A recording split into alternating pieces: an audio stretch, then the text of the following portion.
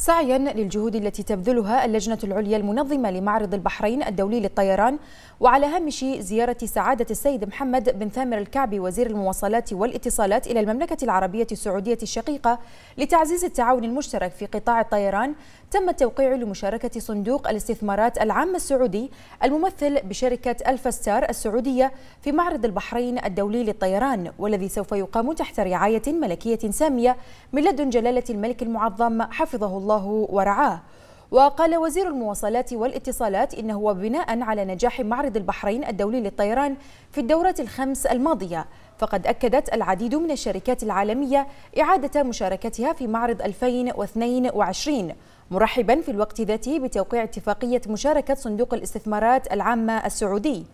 وبهذه المناسبة أكد سعادة وزير المواصلات والاتصالات أن صناعة الطيران في سوق الشرق الأوسط تشهد نموا في المشاريع المتعلقة بتعزيز البنية التحتية للمطارات وخدمات الملاحة الجوية والخدمات الأرضية وغيرها مؤكدا أن المملكة تحظى بمكانة كبيرة وثقة عالية في قطاع الطيران على الصعيدين الإقليمي والدولي.